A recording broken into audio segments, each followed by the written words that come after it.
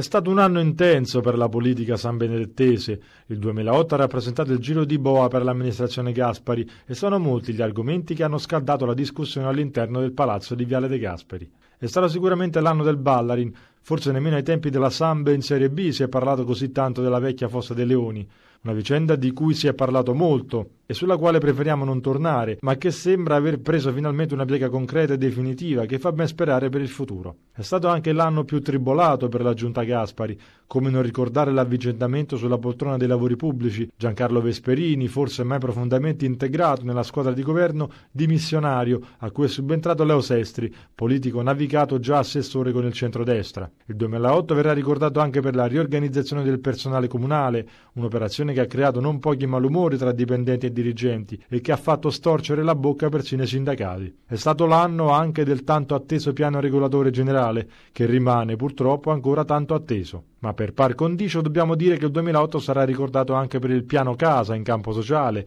per aiutare le giovani coppie e contrastare l'emergenza abitativa, per la serrata campagna pro raccolta differenziata che ormai ha coperto tutta la città, per l'impegno nella lotta al traffico, anche se inquinamento e intensità veicolare rimangono comunque elevate. La politica ha sempre regalato spunti interessanti, costantemente seguiti e sottolineati nella nostra trasmissione Videopolis, l'approfondimento politico di TVP. Per il 2009 la speranza è che la cosa pubblica diventi sempre meno argomento per pochi esperti e sempre più materia vicina ai cittadini. Del resto è per loro che nasce e si fa.